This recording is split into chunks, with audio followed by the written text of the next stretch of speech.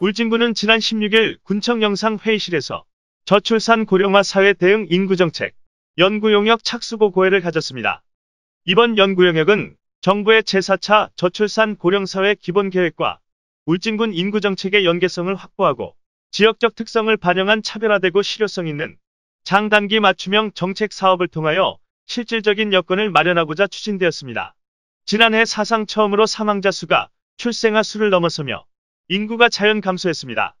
정부가 지난 15년 동안 3차에 걸쳐 300조 원이 넘는 예산을 집행했지만 인구 감소를 막지 못했습니다.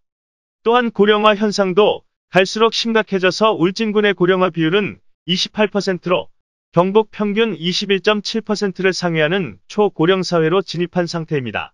이번 연구 용역은 이러한 울진군의 현실을 직시하고 울진군의 지역적 환경적 사회적 요인들을 접목한 인구 정책 사업을 발굴하여 국민 모두가 함께 행복하고 살기 좋은 지역사회를 만들기 위해 추진되었습니다. 본 연구 영역은 입찰을 통해 선정된 구미 소재의 빚은 이음이 수행하여 오는 2021년 9월까지 7개월간 추진되며 중간 보고에는 5월경에 개최될 예정입니다. 전창걸 울진군수는 인구 감소는 지방 소멸과 직결된 중요한 사안인 만큼 지역 특성을 적극적으로 반영하여 국민 모두가 공감할 수 있는 실효성 있는 연구 결과가 나올 수 있도록 노력해달라고 당부했습니다. 울진방송 이승주입니다. Ulgin Media Network.